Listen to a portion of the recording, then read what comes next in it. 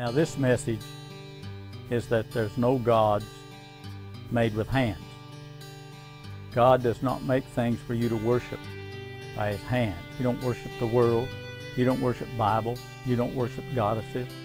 Now, in the 19th chapter of the book of Acts, they give Paul and them a, a good lesson that, that taught them not to go against their gods because Diana, the great goddess that came down from Jupiter, that was making them a lot of money. Now think about how much money the Bible makes people. See, Paul's saying that there's no gods which are made with hands.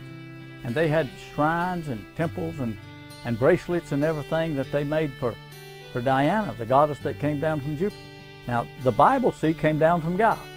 They said, hey, this is made by God. An angel come down with the Bible in his hand and said, if you eat this book, you're going to be bitter.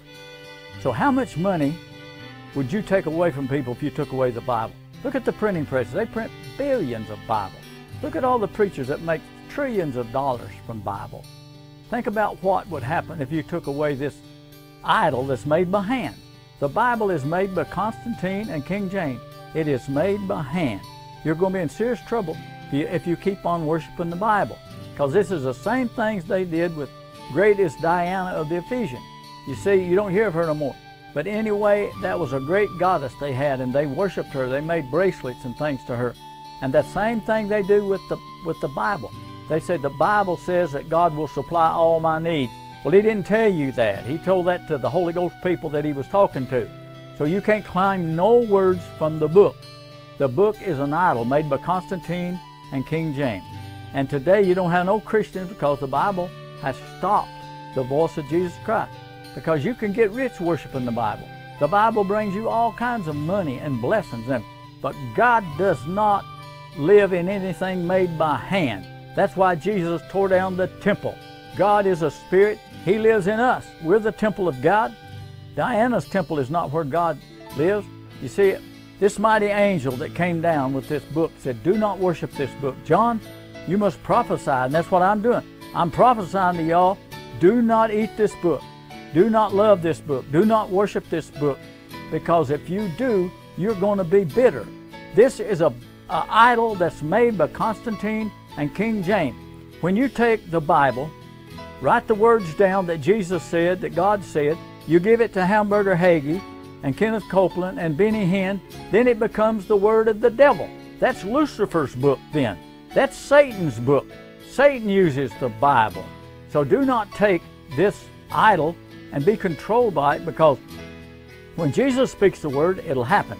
But when you write it down and the devil gets it, then it's the word of Satan. It's an idol. Do not be controlled by this. There's no gods that's made with hands. And God is a spirit. He lives in us. And remember, the word of God is spirit and it's life. It comes to us. But when it comes in the Bible and and they speak it, the devil, Lucifer speaks it, he's the son of God, Jesus was the son of God. He's the exact example of Jesus Christ. He's his, his brother. He looks just like him. He's transformed into angel light. And he'll give you this Bible because he can't give you the Holy Ghost. He has to give you a Bible. He can get in a few people, but he can't get in everybody like God can. So do not let him control you by a God that's made with hands. And remember this is the greatest truth you'll ever hear.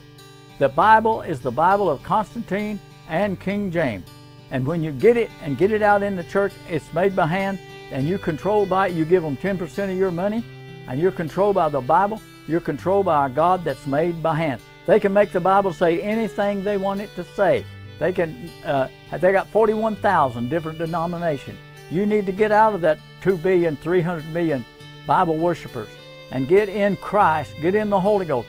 Tear up your Bible, close the thing, tear up the Bible, ask Jesus for the Holy Ghost, and get out of the Bibles that's made by hand. They're made by man, and they've been made rich by this. Have the word that Jesus speaks. If Jesus speaks to me that I'm his son, then I'm his son. That don't tell me in the Bible I'm his son. He tells me I'm his son. This is God's word to you today.